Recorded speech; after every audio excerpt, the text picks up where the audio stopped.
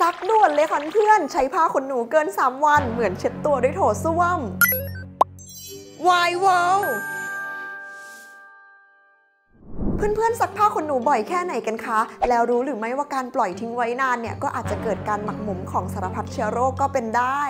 เรียกได้ว่าเป็นที่ฮือฮาอย่างมากเลยนะคะ เมื่อในโลกโซเชียลเนี่ยได้มีการแชร์ข้อมูลเกี่ยวกับแบคทีเรียในผ้าขนหนู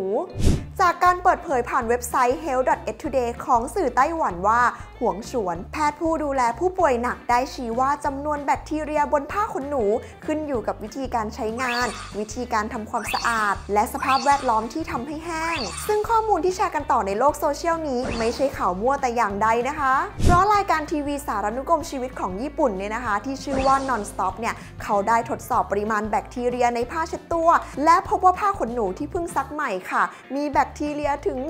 190,000 ตัวหลังจากใช้งานไป 1 วันจำนวนเพิ่มขึ้นเป็น 17 ล้านครั้ง ซึ่งมากกว่าวันที่ศูนย์ถึงเกือบ 90 เท่าเลยทีเดียวค่ะ โนริโทชิริ ผู้อำนวยการศูนย์วิจัยสุขอนามัย และจุลชีววิทยากรุงโตเกียว ก็ได้อธิบายในรายการโทรทัศน์ให้ฟังค่ะว่า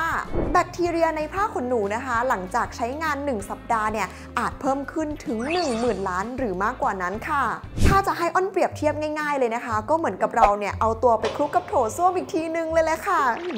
หืมมากเลย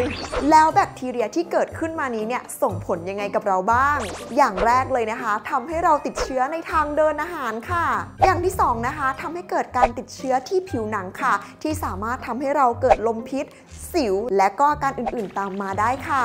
อย่างที่ 3 นะคะทำให้เกิดโรคทางเดินหายใจ ผิวแพ้ง่าย และเกิดการอักเสบได้ค่ะ ดังนั้นนะคะเพื่อนๆทางที่ดีเนี่ยอ้อนคิดว่าเราควรซักผ้าขนหนูทุก ๆ 2-3 ครั้ง และเปลี่ยนผืนใหม่ทุก ๆ 2-3 เดือนจะดีกว่าค่ะอะแล้วเพื่อนๆก็อย่าลืมตากผ้าในสภาพแวดล้อมที่เหมาะสม มีอากาศถ่ายเทสะดวกกันด้วยนะคะ เพื่อความสะอาดและจะได้ไม่เกิดอาการอื่นๆตามมาค่ะ Why Wow